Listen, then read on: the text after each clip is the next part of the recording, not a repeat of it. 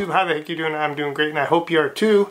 I'm sitting in my studio, my little office here, just messing around on the computer and I came across a new exciting uh, thing that came up today and that is uh, the release of Microsoft Edge on Mac OS. So I'm going to show you exactly what you need to do to download that and get that running on your Mac. And I know some people are this, you know, stringent Mac only stuff and some people are just Microsoft.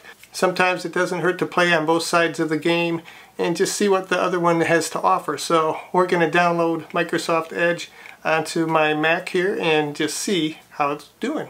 So the first thing you want to do is just open up your browser, Safari or maybe even Chrome you have running on your uh, Mac there and go to MicrosoftEdgeInsider.com and you'll see right here they have the little link for download Canary Channel for Mac OS and if you scroll down they'll give you a little announcement about it. Back in December we announced our intention to make it open source. And they're going to be uh, having an insider forum that you can you know pretty much say what you think about it and get some uh, feedback on give them some feedback on the new browser. So you're just going to go ahead and click on that accept and download. And then as you can see it's getting downloaded into the system there. If I go up to the little area of the browser here you can see I downloaded it once before earlier but I just want to show you it's pretty easy pretty quick to download. And also because I did download it earlier I already have it installed so I'm just going to go ahead and go ahead and click into Microsoft Edge Canary. And there you have it. Typical look of the edge where you can scroll through the little uh, snippets of news and things that are going on. So it gives you a pretty nice uh, front page. I've enjoyed using it on the Surface Pro. So I'm going to just go ahead and kind of expand this window to full window. And then I want to go back to Safari. I'm going to do the same for that, full screen. And let's see, I'm going to go to one of my pages that I typically go to, and that is Mac 9 to 5. But I want to change it up a little. I don't want to get you too bored with Mac stuff. I'm going to change it up. Go to Google, 9 to 5 Google, and that gives you all the information that you want to hear and see that's going on the Google side. Like I said, I keep in track on Microsoft, I keep in track on Google, Android, and of course Mac. So let me switch back over to there. I already got a link for Mac 9 to 5, so I'll pull that up. Go over to the Google side so we can see and kind of compare between the two. Scrolling's pretty good. This is the Safari side. It goes pretty quick. Go back over to the edge side. And it's still loading stuff.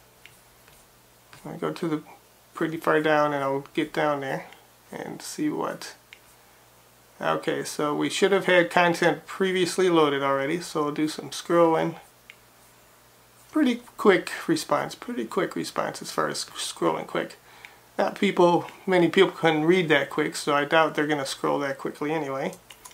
Switch back to uh, the Safari side, Google Pixel Device Learn.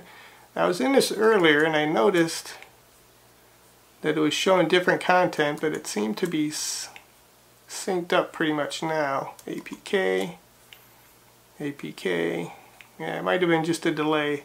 This guy was showing up earlier on the top of the edge side but it wasn't showing at the Google side on uh, the Safari side I should say. So let me just go into go into Google Calendar. Loads pretty quick. Content a little sticky there a little sticky. And then we'll switch back to the Canary side. Click on that guy. See now you got a different view depending on the browser you're going to get different uh, ways it's going to respond as far as things as you can see the calendar part filled in the whole screen. Uh, maybe it took a I didn't think it did on that side too so they both did on that side so maybe it was hesitating. You can see that it's fills the screen pretty much as far as how it's supposed to uh,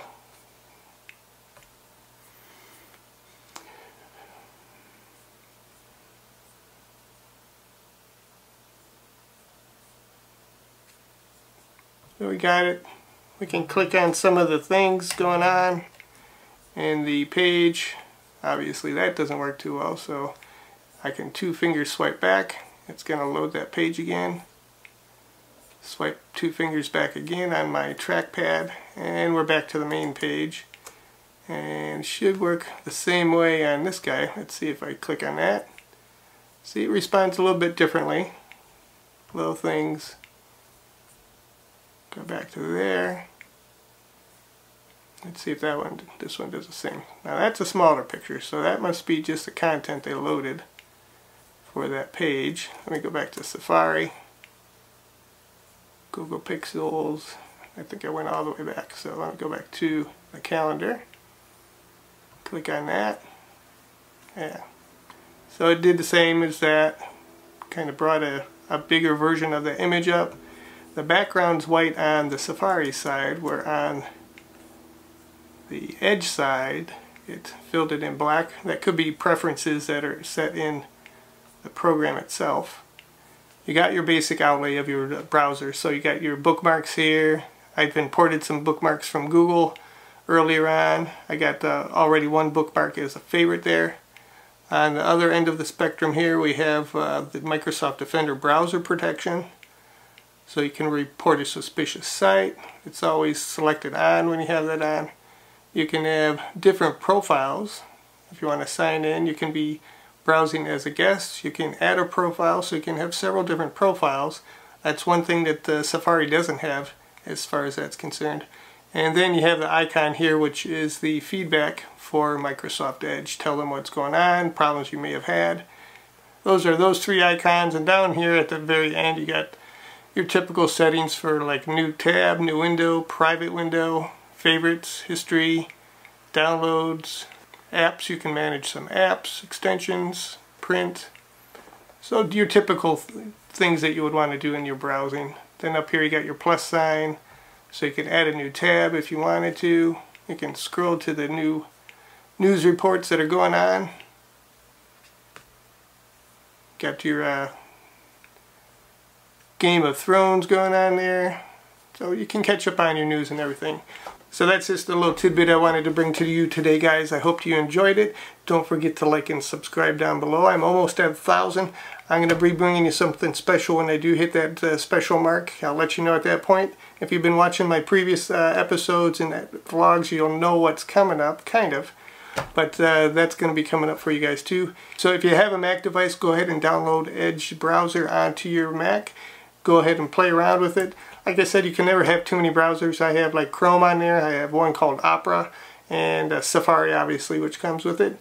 And now I have Microsoft Edge. So I'm going to be browsing the rest of my day away and I'll catch you next time guys. Have a good one.